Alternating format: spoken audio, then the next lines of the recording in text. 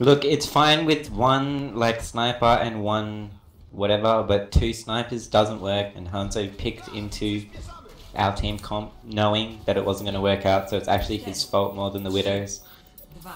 So report X69, X420, X69, XD. I don't understand why he's still on Hanzo, dude. Because he's playing a non-warmed up Hanzo into a warmed up Widow, and he doesn't think that's a problem.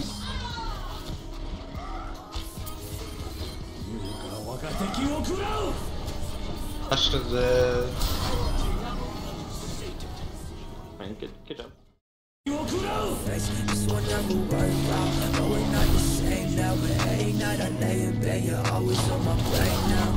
in the wind flow. Give a fuck about the pace. Tracers. Never see my face though. Yeah, no, I the late though. So I it in the.